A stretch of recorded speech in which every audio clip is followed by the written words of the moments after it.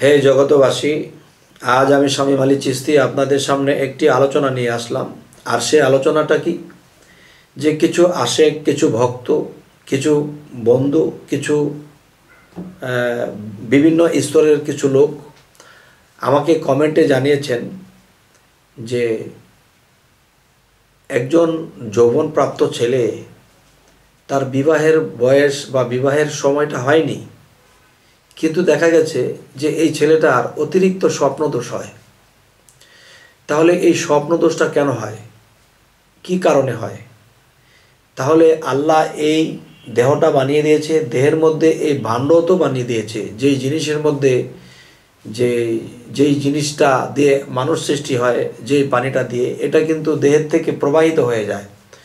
গমের ঘরে স্বপ্নে এটা চলে যায়। তবে আমাকে যে আশেক বা যেই ভক্ত বা যেই ভিউয়ার্স আমাকে এই কমেন্টটি করেছেন যে স্বপ্নদোষ থেকে মুক্তি পাওয়ার বা স্বপ্নদোষ থেকে নিরাময় পাওয়ার যে কোনো ব্যবস্থা, এই সম্বন্ধে কিছু বলবেন যেন আমরা এই স্বপ্নদোষ হইতে রেখায় পাই।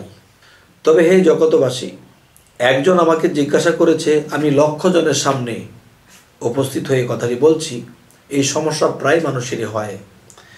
আচ্ছা তো এখন আমি বলব যে কেউ যদি সরিষার তেল ভাঙানোর জন্য মেশিনের মধ্যে যখন সরিষার, এরপরে যখন মেশিন চালু করে দিল, তখন একদিক দিয়ে খোল পড়তেছে, একদিক দিয়ে গাত পড়তেছে, আরেক দিক দিয়ে তেল পড়তেছে। তো আমি বলব যে মানুষ যখন খাবার খাদ্য খায়, তখন কিন্তু পায়খানা, প্রস্রাব আলাদা আলাদা বের হচ্ছে। আর একটা জায়গা দিয়ে রক্ত উৎপাদন হচ্ছে এবং রক- রক্ত থেকে সে বীর্য হচ্ছে। তাই আমি বলব যে সরিষার মেশিনের ভিতরে যখন এক বস্তা সরিষার বিচি দেওয়া হলো, তখন কিন্তু মেশিনটা চালু করার পরে কিন্তু যার যার রাস্তা দিয়ে সেটা প্রবাহিত হচ্ছে। তো এখন মেশিনের মধ্যে যদি কম দেওয়া হয় তাহলে তেলটা কম পড়বে। আর যদি বেশি দেওয়া হয়, তাহলে বেশি পড়বে। আর যদি না দেয়, তাহলে আর তেল পড়বে না। তো এই জন্য বলি, এই মাটির থেকে যেই আটা, গম বা ধান, চাউল, যাই কিছু এখান থেকে খাওয়া হয়, যাই কিছু খাওয়া হয়, সেগুলো কিন্তু এই মাটির রসালো থেকে বড় হচ্ছে। যখন এই রসালো খাবারটা যখন আমরা খাই তখন এই মাটির দেহের মধ্যে গিয়ে তখন সে রসের পয়দা হয়। আর সেই রসের পয়দা হয় যে রসালো পানিটা, এটা দিয়ে কিন্তু মানুষ জন্ম নেয়। তো আমি বলব, যাদের স্বপ্নদোষ বেশি হয়, তারা এই কথাগুলো যদি একটু লক্ষ্য করে শোনেন আর এভাবে মেনে চলেন, তো ইনশাল্লাহ একচল্লিশ দিনের মধ্যে আপনারা ফল পেয়ে যাবেন। সেই কথাগুলো হলো যে মাছ, মাংস, ডিম, দুধ। খাওয়া বাদ দিবেন। আর কি করবেন? যে নিরামিষ খাবার খাবেন। লাউ তরকারি, শাক, বিভিন্ন আলু তরকারি, ভর্তা, এসব জিনিসগুলো খাওয়া দাওয়া করবেন। আচ্ছা এরপরে কি হলো? এই চোখে কোনো নারীর প্রতি কুদৃষ্টি করবেন না। কারণ মানুষ যখন একজন নারীর দিকে একটা কুদৃষ্টি করে, তখন কি হয়? তার যে আকাশ, মাথার সাইডটা আধ্যাত্মিক জগতে আকাশের সাইড এখানে মেঘাচ্ছন্ন হয়। মেঘাচ্ছন্ন হতে হতে সেখানে মেঘ জমা হয়। যখন মেঘ জমা হয়, তখন দেখা যায় যে অনেক বাতাস থাকলে পরে, তখন দেখা যায় যে মেঘটা উপরেই ভাসতে থাকে।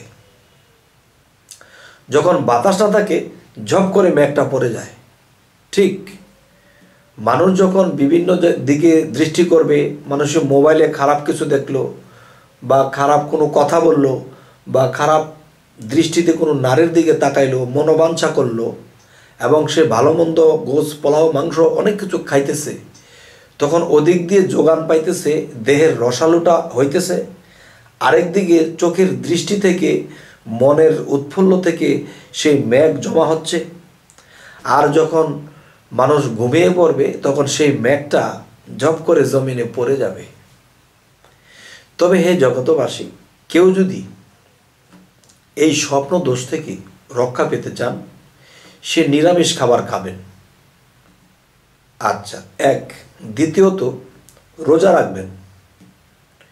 তৃতীয়ত বিভিন্ন কুখায়েশ কুদৃষ্টি করবেন না। তখন কি হবে?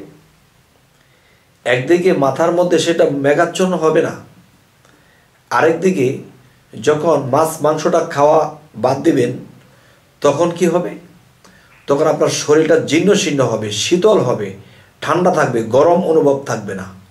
তখন কি হবে? যে আপনার ভিতরে যখন জিকির রাখবেন, আল্লাহ নামের জিকির রাখবেন, আল্লাহর ইবাদতগুলো করবেন, তখন দেখবেন যে আপনার সেই জিনিসের উৎপত্তি কম হবে এবং কুদৃষ্টি বন্ধ করে দিলে আপনার মস্তিষ্কে সে ম্যাগ জমটের মতো হয়ে থাকবে, যখন বাতাস থাকবে না, নীরব হয়ে গেছে, যখন মানুষ ঘুমিয়ে পড়ে, নীরব হয়ে যায়, তখন সেটা পড়ে যায়। তবে হে জগতবাসী জানি না আমার এই আলোচনাটি আপনারা কোন জ্ঞানে নেবেন? তবে এটা থেকে বাঁচার একটাই পথ রাত্রে শোয়ার সময় এই কাজগুলো করার ফাঁকে দিয়ে রাত্রে শোয়ার সময় তিন কুল পরে বুকে ফুদিয়ে ডান কাতে আল্লাহ নামের জিকির করতে করতে ঘুমিয়ে পড়বেন। তখন সকালবেলা উঠে আল্লাহকে একটা সেজদা করবেন। তখন কি হবে?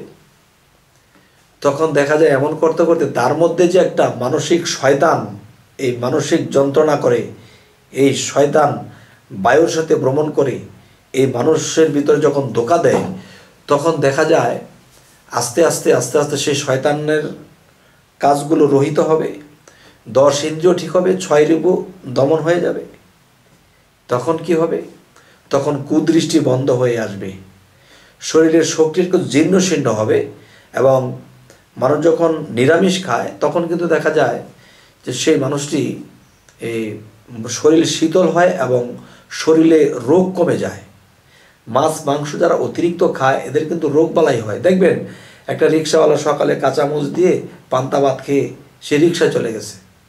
আবার দেখা যায় সে বাড়িতে এসে সেই কাঁচামুচ দিয়ে কিছু ভর্তা টর্তা দিয়ে ভাত খেয়েছে। তার শরীরটা কিন্তু জীর্ণ শীর্ণ, শুকনা। কিন্তু সে যে পেট্রোল মারে, তার শরীরে কোনো রোগ নেই। আর যারা ধনী মানুষ তারা পোলাও, মাছ, মাংস, বিভিন্ন খাবার খায়। খেতে খেতে ফ্যাট হয়ে যায়। তখন দেখা যায় রক্তের মধ্যে চর্বির সৃষ্টি হয়। তখন রক্ত চর্বি হতে হতে রক্তের পথগুলো বন্ধ হয়ে যায়। তখন হার্ট স্ট্রোক করে। অল্প বয়সে মারা যায়। কেন? তার এই দেহের যতটুকু খাদ্য দরকার, এর চেয়ে বেশি খাচ্ছে এবং যতটুকু ব্যায়াম করা, যতটুকু খাটাখাটনি করা, এর চেয়ে কম করছে, যার ফলে এই লোকটাও টিকে না। যাই হোক, সেই প্রসঙ্গে যাব না।